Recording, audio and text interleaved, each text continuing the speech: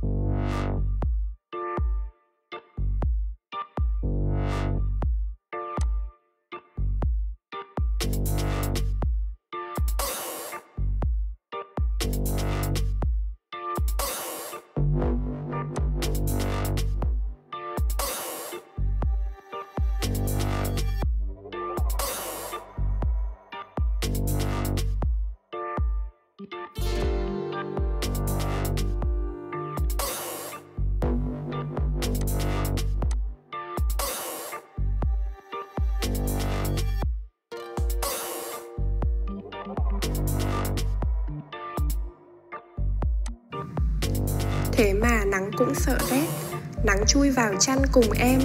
Các bạn để ý mà xem, trong chăn bao nhiêu là nắng?